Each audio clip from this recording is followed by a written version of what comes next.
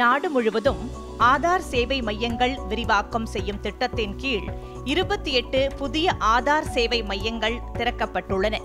தற்போது செயல்பட்டு வரும் முப்பத்தி எட்டாயிரம் ஆதார் சேவை மையங்களுடன் புதிதாக நூற்று பதினான்கு மையங்கள் ஐம்பத்தி ஓரு நகரங்களில் துவக்கப்பட உள்ளதாக அறிவிக்கப்பட்டுள்ளது. இம்மையங்களை மாநில அரசுகள் தபால் நிலையங்கள் மற்றும் வங்கிகள் இயக்கி வருகின்றன. இந்த சேவை மையங்கள் வார நாட்கள் முழுவதும் செயல்பட்டு வருகின்றன. நாள் ஒன்றுக்கு ஆயிரம் பொதுமக்களுக்கு இம்மையங்கள் சேவை வழங்கி வருகிறது. புதிதாக ஆதார் அட்டை பெறுபவர்கள் இலவசமாக இந்த வசதியை பயன்படுத்திக் கொள்ளலாம். பழைய ஆதார் அட்டையில் மாற்றம் செய்ய விரும்புகிறவர்கள் ஐம்பது ரூபாய் செலுத்தி தகவல்களை மாற்றிக்கொள்ளலாம்